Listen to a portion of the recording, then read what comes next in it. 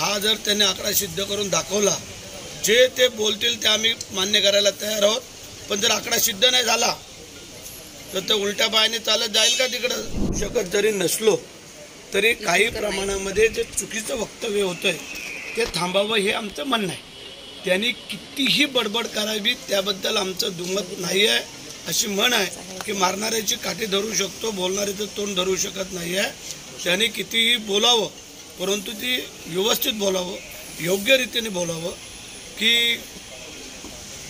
एवढा की आमचा कोणाचा तोल सुटू नये इथपर्यंत बोलू नये असं आम्हाला म- शेठ जर संजय राऊतांनी हा आकडा सिद्ध करून दाखवला तर आपल्याला आव्हान आहे त्यांचं.